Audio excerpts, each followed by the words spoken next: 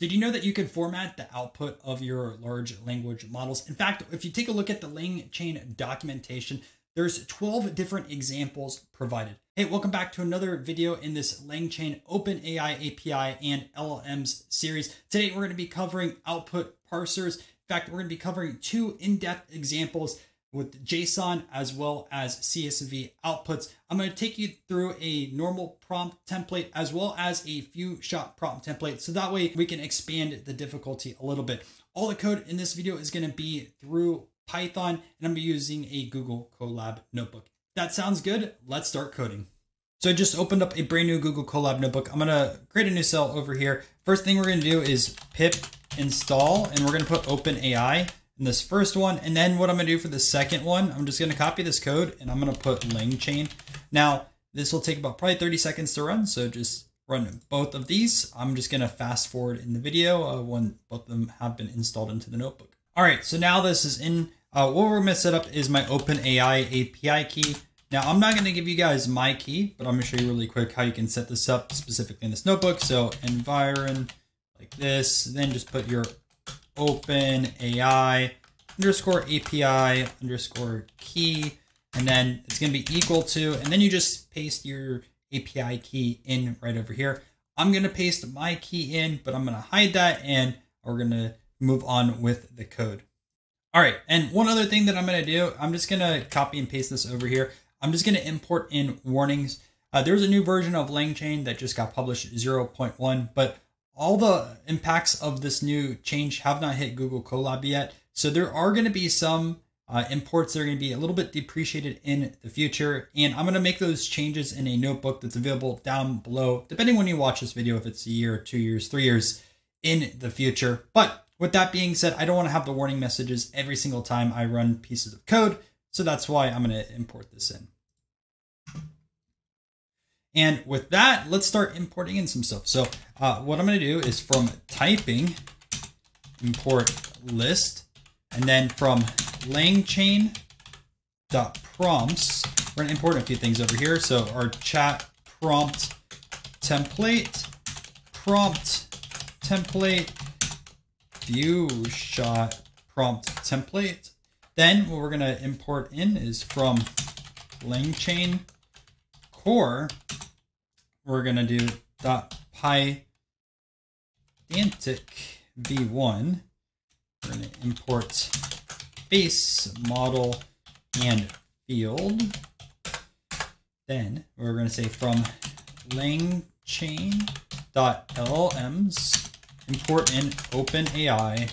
And lastly, from langchain core.output underscore parsers import JSON output parser like that, and then comma separated list.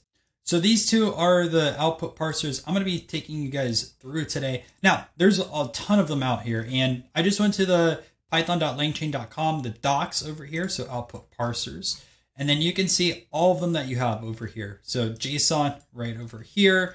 And then we have down below our CSV of which I'm going to be taking you guys through. So if you want to learn how some of these other ones work, just click over here and see the specific tutorial. So like JSON right over here talks about everything you need to import, shows you an example class, and there's also streaming down below. And so take a look if you need any other specific output parsers. But with that being said, we're going to jump into our JSON example and let's get started. So what I'm going to do is actually before this JSON example, I'm just going to call a model over here. So I'm going to say model equals open AI. I'm just going to set a temperature of 0.6. You don't want to have this too crazy of a model. So uh, pretty mild overall, nothing too spicy. But with that being said, let's start with our JSON example. And we're going to have to create a class based off of the documentation. So what I'm going to do for this example is take a look at baseball home runs. So a, a baseball player, if he hits a baseball out of this out of the diamond, it's considered a home run. It's a stat that a lot of baseball fans uh, really like. And if you're at the game, you want to catch a home run ball. regardless, I want to create a LLM that you can put in a player and you can see how many home runs that they have across their career, but I wanted it formatted as JSON. So let's do that. So home runs over here, then we're gonna put base model, okay? And first thing that we're gonna do is have our player name. So player name like this. Now this is gonna be a string on here. Then you're gonna set your field, and I should say equals, because I missed that. You're gonna set this up, field, let's put a description in here. So description, and we're gonna say equals baseball player name, all right? Next thing that we're gonna do is put in our home runs. So put home runs over here. Now this is gonna be an integer, and you're gonna say equals field, you put a description, description equals, and we'll say our total home runs. We'll say like total career home runs. Career home runs. All right. So now we have that. And what we're going to do now is set up our JSON parser. So JSON underscore parser. And I've seen it a lot with example codes, just parser. But since we're going to be doing a CSV and JSON, I feel like we should do that. And that's going to be equal to, and it's going to be this JSON output parser, which we called above, right? Or we imported in above, I should say. And what we're going to throw in here is something called a Pydantic object. And then we're going to say that's equal to our baseball home runs. So that is going to be this class that we created. And that's going to be our definition. So what this essentially does for Pydantic is it's a data validation library for Python. So this is going to help us get our JSON input, right? Or I should say JSON output. So we have our JSON output parser. We have our Pydantic object, which is this baseball home run class. So you might be wondering where the live coding went. Well, unfortunately, I'm actually recording this a few days after the fact. I sent this over to my editor and yeah, all the video was not good. So essentially what happened is I, I record on two screens, both the camera and also live recording when I'm coding, something went wrong with OBS and the bitrate and everything lagged. Like it wasn't even usable. I tried fixing it. No bueno. So I'm just going to walk through line by line essentially what I did. I apologize for no live coding on this side of things, but I still wanted to get this video up. So I believe we stopped at this JSON parser. So next what we're going to do is set up an example prompt, a, a prompt template We've done this a lot of other videos. So we're going to say our template equals. This format instructions is new. You'll see it next line. Uh, but we put this in over here as a variable. We do a new line. We have player, another new line. Then we have our partial variables over here, which reminds me of uh, the good old calc days. Uh, so we have our format instructions again, right? But this time we're going to JSON parser.get format instructions. So this goes back over here to this JSON parser that we defined. Uh, and then we're running, I believe this is a method over here, the get format instructions. And then we have our normal input variables, which you guys again should be pretty familiar with based off this prompt template. So if you wanted to see an example uh, of essentially what's going on with this JSON parser, we can just print out our example prompt and format it.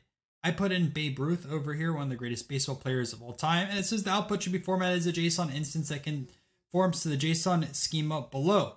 As an example for the schema, properties, foo, all, all this stuff, I'm not going to read it all. And then says, here's the output schema, properties, player name, title, player name, description, baseball player name, type, right, string, home runs, title, home runs, description, total home runs, type, integer, required, right? We want to have that player name, home runs, and then we throw a Babe Ruth. So essentially it's it's telling our LM what we want to have printed out at the very end. Or at this one, it's going to be sent to JSON, but you know what I mean. Then what I want to do is I, I made this in two different lines. When I originally coded this, I just put it over here for this print just to show you guys. But essentially, we're going to send this example prompt to our model that we defined earlier, and it prints out. You can see this JSON player name Babe Ruth home run 714. So essentially, just to go through how JSON works again, set up your JSON parser, set up your model. Uh, model can be outside of this tutorial itself, but whatever, right? Then we set up our class baseball home runs. Essentially what we're doing over here is showing what we want for the JSON, right? Our player name and home runs. We set up our JSON parser with this Pydantic object.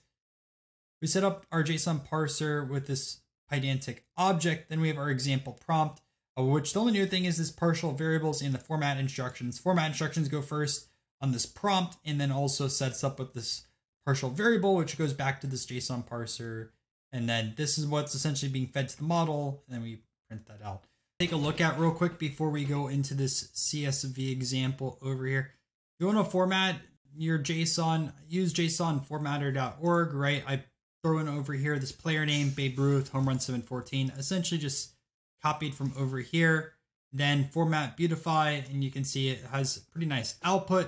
And then if you want to check out, like if Babe Ruth actually has 714 home runs, Babe Ruth, right, load this up. I can tell you for a fact he does have 714, but we have 714 over here with all his stats. Ruth was just such a better baseball player than everyone else at that time. That OPS 206 plus and 182 war is insane. So now we're going to take a look at a CSV example. So essentially with CSV, think about like a comma separated list.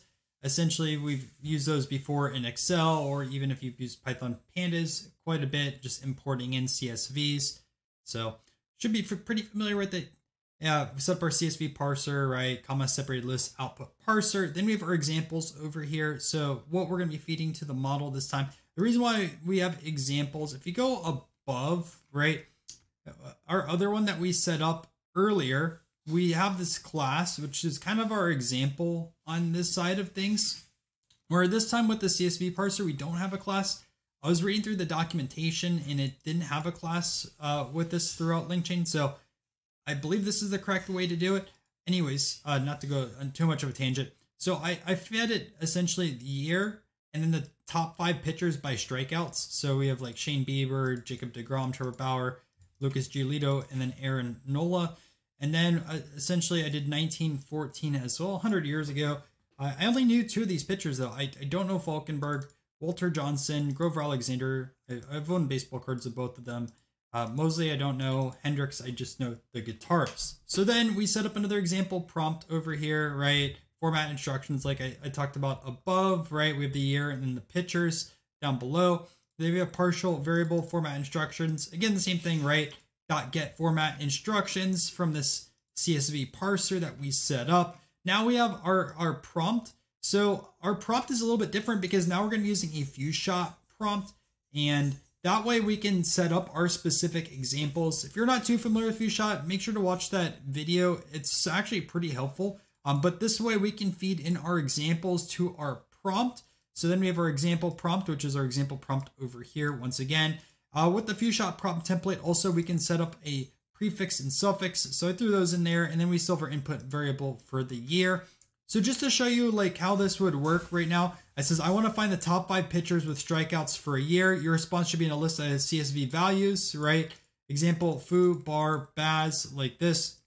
And we're feeding it 2020, has those examples over here. Then your response should be a list of comma separated values, right? 1914 feeds that list, and then we have year 1952. So I fed it 1971. I actually fed it a few different years, and it wasn't correct, interesting enough. So we have Tom Seaver, Bob Gibson, Fergie Jenkins, Nolan Ryan, and Steve Carlton. But that wasn't the 1971 strikeout leaders. So if I actually look up 1971 strikeout leaders, and let's put this over here, not the card, I've, I've owned that card also. But if we go into the pitching leaders uh, on Baseball Reference, website you guys should be familiar with, with if you watch multiple videos. Uh, that is not the top 10 list. Uh, what where do we grab those values from? So Nolan Ryan isn't even on that list, right? Um, and let's see, Seaver, Gibson, Jenkins. Is Seaver okay? Seaver's three, Jenkins is four. Bob Gibson isn't on that list either. So I, I find it pretty interesting uh, where we're getting these specific results from. And I know it's not new data. I, I know sometimes we have some issues with that. This has been around for quite a while. So there's a few different ways that we could fix this if we really wanted to, and it's not the main focus on this video. We could feed it more examples.